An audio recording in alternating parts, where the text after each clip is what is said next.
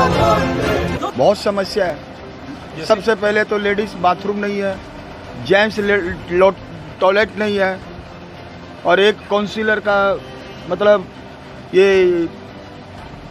ये नहीं है, एंबुलेंस नहीं है। ये आज 35 बरस से ये पार्क बना है, अभी चुनाव के टाइम पर यही हुआ 25 बरस से कुछ नहीं हुआ, अभी बन रहा है बहुत समस्या, पानी भर जाता, बरसात होते ही। तो इन समस्याओं के लिए आपने कभी अपनी पार्षद से कहा था? समस्या के लिए हमारी झगड़ा कोटी है। दिखता है उसको दस बार बोल दिया। हमारी झगड़ा कोटी में पानी पूरा भरता थोड़ा सा मतलब बाथरूम भी कर लेंगे तो पूरा भर जाएगा। बरसात थोड़ी सी होगी तो पूरी कोठी भर जाती है पानी से। हज़ारों बार बोल दिया। कराएँगे कराएँगे कराएँगे। एक बार करवाया उसके बाद वैसा ही घोड़ा वही मैदान। और महेश भाई उनसे भी बेहतर साबित हो गई यहाँ पे।